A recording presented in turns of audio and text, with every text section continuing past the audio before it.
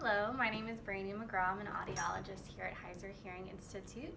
I have Miss Woods here. She is our Listen Up candidate for this month.